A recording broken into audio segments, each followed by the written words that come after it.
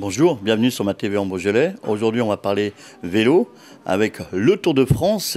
Une invitée à la brasserie du théâtre à Villefranche-sur-Saône. On retrouve la maman de Rudy Mollard, Fabienne Bonnefond, qui va nous parler de son fils, de cette préparation et de cette sélection pour le Tour de France. Et on est tous ravis de sa sélection parce que c'est l'aboutissement d'un long travail, de beaucoup de sacrifices. On est ravis pour lui déjà. Et puis ben, on va suivre ça avec beaucoup de beaucoup d'intérêt, beaucoup de passion. Je pense qu'on va avoir euh, des bonnes surprises, j'espère. Rudy Mollard qui a commencé le vélo très jeune, Fabienne?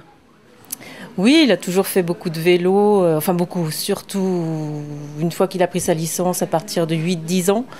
Sinon, euh, il a touché un peu à tous les sports. Il a fait du tennis, il a fait de l'escalade, il a fait du ski, beaucoup de ski aussi. Il s'est mis au vélo sérieusement à partir de l'âge de 16 ans à peu près.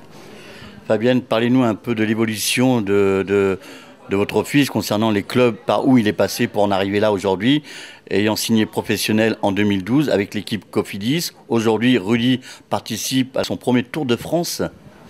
Oui, donc il a commencé euh, à 8 ans, je crois, sa première licence au CC Châtillon, euh, où était son papa également. Il a commencé avec son frère aussi. Après, il est passé à Tarar-Popé, où il était, je crois, cadet, il me semble. Et après cela, il est passé au CR4C pour finir à Etup, avant de signer chez Cofidis.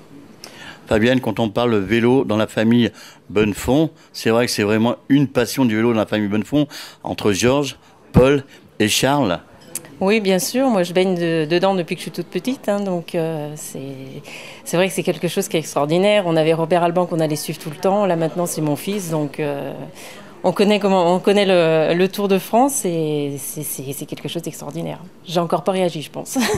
c'est vrai, c'est vrai. Quand on vous parlez justement de Robert Alban qui a, qui a couru pour le Tour de France, bien sûr.